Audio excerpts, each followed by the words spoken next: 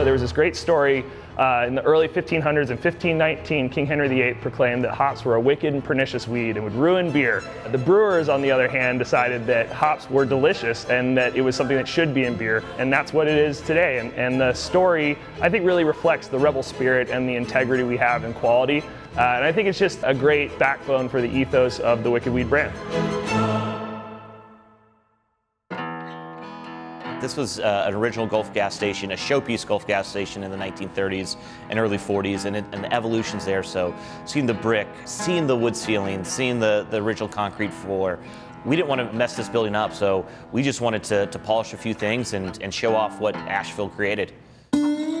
The brewery started with the coming together of two families, the Guthys and Dickinsons. Family history goes back 55 years. Being a beer lover, uh, we love creating experiences and creating uh, great craft. And so at the time, we're Beer City USA. Uh, a lot of great beer being produced, but we didn't want to only focus on the, the beer aspect of things. We wanted to focus on the customer service, the atmosphere, uh, and the culinary program.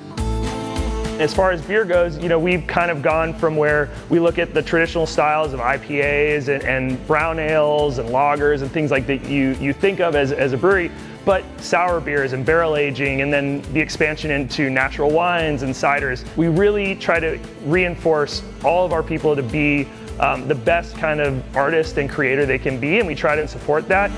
I always say uh, we're a company of creators. We have 350 employees now at this time, and we do everything internally, uh, whether it's our fabrication shop, doing all the metal and woodworking. You see the furniture, the flight boards, all the decor, the murals that we're doing. We have great graphic designers and artists, um, you know, our chefs, our brewers, our servers are, we're always creating a new experience. So uh, I think Wicked Weed, and the best way to put it, crafts everything we touch. I love Wicked Weed because it's a good local spot. The service is excellent. And every time we come here, we just we're always made to feel special. My favorite beer is Freak of Nature, best beer, hands down. And my favorite food is the bison burger. I have many, many favorites, but I do have to say when it comes to sours, they're definitely hands down the best I've ever had course, our staple and our flagship beers, which would be Pernicious and Freak of Nature. When we have our Menage Freak, that is a very popular party that we have, and that's when we release our triple IPA. And then one of our cocktails, the one favorite would probably be the Tequila Stings Like a Bee.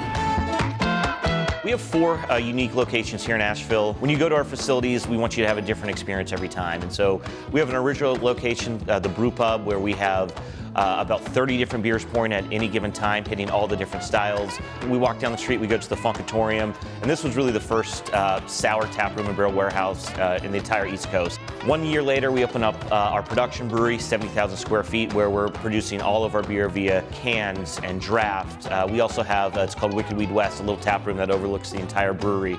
In 2016, we open up a larger facility down in Arden. that is our headquarters, that's our new sour production brewery. And and um, really pushing the boundaries of what we can do at each location. We're a brewery first, right? And beer is the backbone of everything you do. It's the lifeblood of the company.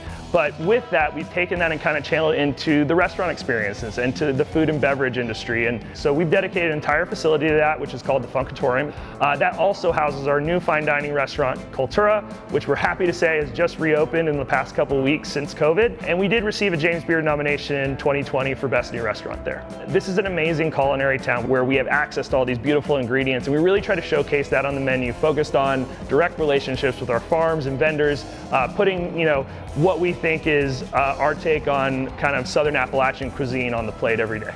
Along with this huge list of sour beers that you would never be able to try anywhere else in the world. So to have those two places to really showcase the full breadth of what craft beer today is, what it was yesterday, and what it'll be tomorrow. I think that's the really cool thing that Wicked Weed gets to deliver, and the only way you could is by having these unique spaces that tell that story.